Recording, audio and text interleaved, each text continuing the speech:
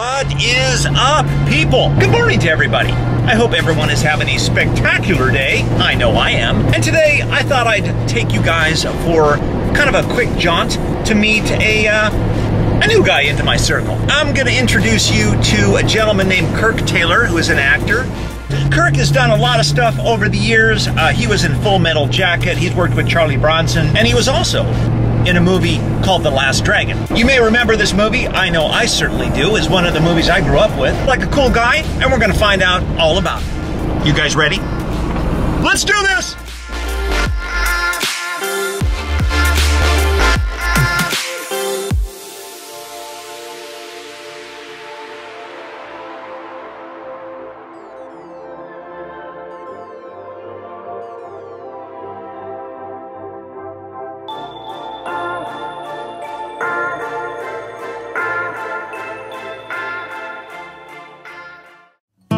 This is Kirk. Uh, I just told you guys about this guy, and we're going to drive up PCH and talk about you Okay. because you got a lot of stuff going on. I got a lot going on. Yeah, it's pretty cool. But you have an amazing history too, and uh, and now you're you're helping other actors to be better actors. Absolutely. Yeah, that's really cool. And you're also a musician.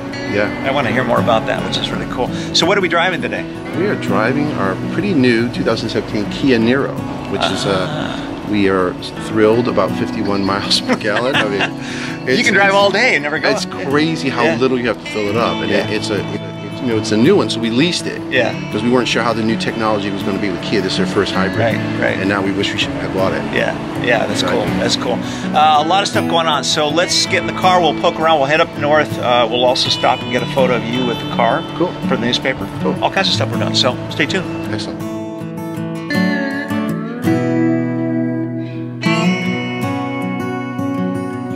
Why? This car? Kia makes a lot of stuff. Why this one?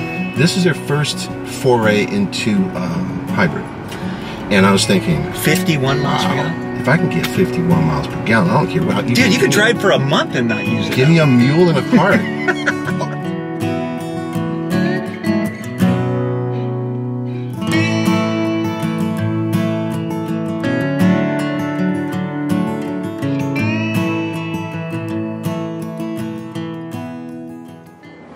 A lot of movies, yes. a lot of fun stuff. You've worked sir. with a lot of really interesting people over the years. Yeah. Oh yeah. Right? I, I definitely have, and People that are no longer around, actually. yeah, some of the some of the heavyweights, you know, like um, Charles Bronson was a Wow. he was just a wonderful guy to work with. He was very, I mean, he has a tough guy persona, but he was a very kind man. And Yeah. I remember the first time I met him, I took a, um, I asked him to take a picture. I got a picture of me. I have a great shot of me and Bronson. I'm in my 20s, and he's very kind to me. And he, he sees his wife Jill Ireland. He says, "Jill, come over here. I want you to meet Kirk Taylor. He's playing one of the heavies." And I remember being called the heavy by Charles Bronson, dude. It's like. I'm a heavy. Yeah. What was the movie? Uh, Death Wish 3. Wow. We shot it in London. And as you kind of review your career, I've been thinking about things a lot. You're doing, doing more and more publicity for some film, uh, the revival film that's coming out, some Yeah. other projects. And as I've been looking back, it's sort of like you're you're amazed. You're like, wow, I rubbed elbows with Charles Bronson. Yeah, that's crazy. And then That's after crazy. and after the Bronson film, and I played one of the heavies, and I, you know, as most villains in a Charles Bronson film, Yeah. you don't make it to the sequel. I mean, you don't see bad guys from one film to another in a Bronson film. Yeah, kills yeah. them all. He even sent away for a very special gun to kill me was a with uh, Wildey 475, which is a it's a modified. It's like a rifle cartridge that Wow. shoots.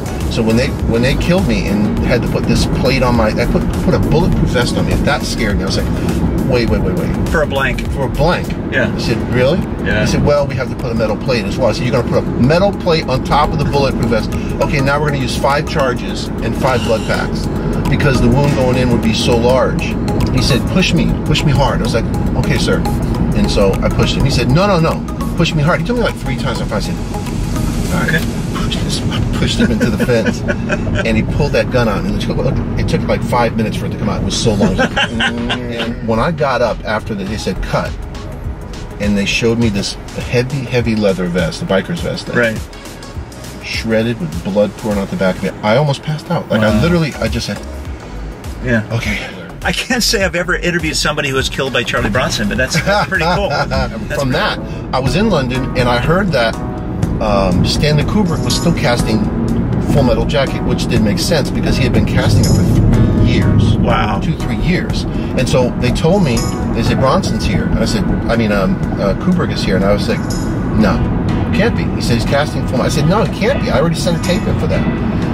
Found out he was. I called his office. I get the number. Yeah. And I called and start. I just said, excuse me. We have a wonderful actor here, Mr. Kirk Taylor from New York. And he's Mr. Bronson loves him. We would love to send him over for you. He may be a big That's asset. that's you telling them. I'm, tell I'm doing that. I'm playing my own, own British Asian. And they said, sure, send him over. so I went in. I went in to meet Kubrick. Now, he wasn't there. Uh-huh. But they said, we're going to videotape you. Stanley's going to watch it later. I said, okay. And I said, can I tell Mr. Kubrick a story? And they said, sure. I said, Mr. Kubrick, it was story, it was show and tell at school, and it was little Johnny's turn to talk about his family. And so the teacher said, little Johnny, tell us about your family. He said, yeah, yeah. Uh, you know, I had a brother, right, who went to Vietnam. He got shot in the ass. She said, oh, oh, Johnny, no, no, no, no, no, we don't speak that way. Say, say rectum, rectum. He said, rectum, nothing. It killed him.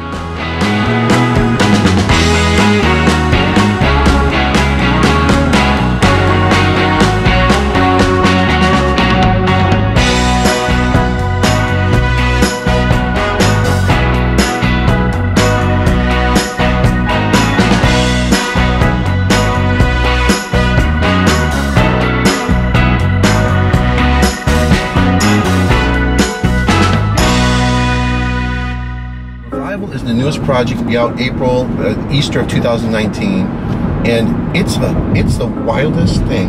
It is a wild film. It's it's kind of a retelling of the Gospel of John as a musical, but it's sort of like if you wanted to describe it, you would call it um, Jesus Christ Superstar and Godspell meet 2001 Space Odyssey. God, my brain just exploded. because it starts off as a guy walking into a theater, get ready to do a play Yeah. this guy walks in with his guitar and um, he starts getting ready for this play and you see dancers stretching and stuff. It's on stage. He puts on the garb. It's a black guy. His name is Mali Music and he plays jesus right? Yeah. and he looks into the mirror and something supernatural happens and he goes into the first century. And now he's in first century israel. Wow. and it, it goes back and forth between stage, first century, then it shoots to the future, and they're they're in LA in like 2050. Basically, talking about the timelessness of the message, right? The timelessness of the message of this Christ Messiah guy, right? Jesus. And so we have Chaka Khan in it. Harry Lennix Punch, Pontius Pilate. Great. Uh, Michelle Williams from Destiny's Child. Uh, Wendy Raquel from the Steve Harvey Show years ago, and uh, Don Lewis. I mean, we have a great cast. Fantastic. And-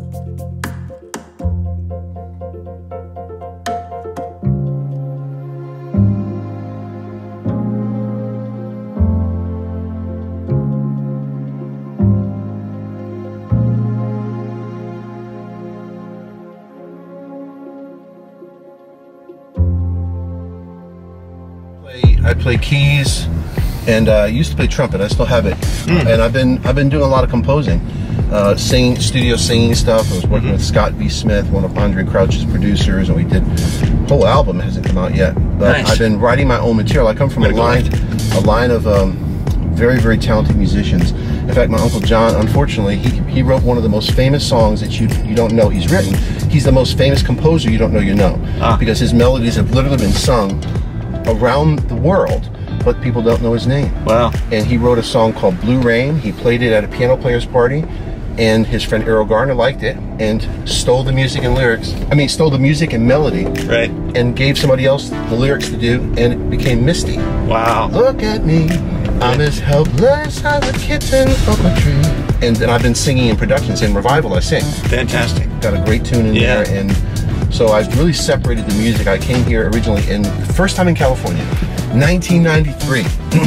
I did Five Guys Named Mo, the Broadway tour of that show. It left Broadway, came here, and did it for here for three and a half months at the Doolittle Theater.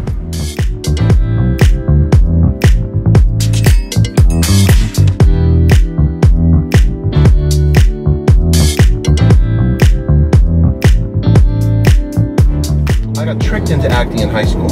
I had already decided I was never going to audition for the play, even though I had kind of a hunger for it, wanting to be on stage. But I decided that the drama teacher was too scary. Miss Hardy was scary. If he, if, I mean, she didn't pull any punches. I heard her. Yeah. She said, "Boring." Yeah. She- We wanted to ride home because it was raining. I said, "Me and your brother want to ride home." She said, "Well, yeah, if you audition for the school play." I was like, "I'm auditioning for the school play." She said, "Okay, well." I said, "Are you serious?" She said, "If you don't audition, that's it." Yeah. That literally changed my life because I went in, sang for Miss Hardy. I got the lead. Wow. She got a part in the chorus. Yeah. She was very upset about that. I uh, decided, Miss Hardy helped me decide to go to NYU, and Lee Strasberg was still alive. Sure. Stella Adler, Brando's teacher. I mean, and I got to study with those guys. Wow. Speaking of really great acting, let's talk about Last Dragon. Because honestly, that was the movie that I remember the most. I love that film. and you know, we did a 30th anniversary, arguably Yeah. 30 years. Did you did you have any martial arts training when Yeah, I you did. did? I had a brown belt in Shotokan. Okay. Yeah. So I was, in funny, it was one of those stories where I'm, I just pay attention on set. I'm not ever just sitting there thinking, because I was a special ability extra, just Yeah. fight, get knocked out or whatever. Right.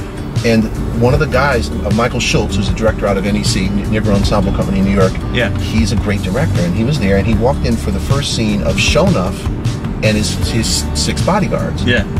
And he looks at this little white dude, and he says, didn't I tell you not to shave? He's like, oh, well, I had an audition today. He said, get rid of him. He said, who else can do it? And Wow. he's sitting there going, Yeah. and the guy touring said, well, Kirk can actually do the martial arts, and he's an actor too Yeah. and they hired me to do that and Wow. it was it was a joy even when i watched that film there's some films that have something Yeah. and there's something about the innocence of this kid because he really was a, a, a naive young kid Yeah, and, sure. and a great martial artist Sure. so there's something about the film that moves me every time i watch it i said they got something Yeah.